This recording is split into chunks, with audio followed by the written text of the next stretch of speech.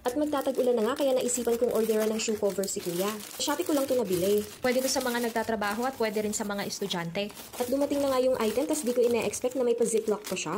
Grabe, hindi tinipid tas may kasama lang din siyang papel. Di ko maintindihan kasi pang Chinese. At eto na nga yung mismo shoe cover.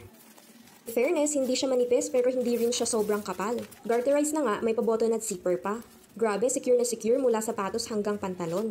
Minsan kasi pag talagang sobrang lakas ng ulan, nababasa ng todo yung sapatos. O aminin. Kaya kung estudyante ka o empleyadong nagko-commute araw-araw, pwedeng pwede to sa'yo. Di pa naman masabi yung panahon ngayon, minsan bigla-bigla na lang umuulan.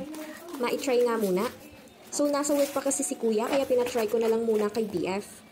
Pinagsapatos ko na. Feeling ko kasi kasya din naman sa kanya. Ayun, kasya nga. Size XXL pala itong na-order ko. May pilian naman ng size sa mismo Shopee store nila. Iba yung texture ng pang-ilalim niyan ha, hindi siya madaling mabutas. Okay na okay ipang commute. Ang ganda pag nakasuot na, ready na sa tag-ulan. Okay talaga siya ipang commute, tas pagdating sa office, tatanggalin na lang. Kung gusto nyong i-try, link in comment section pala. Yun lang, bye-bye!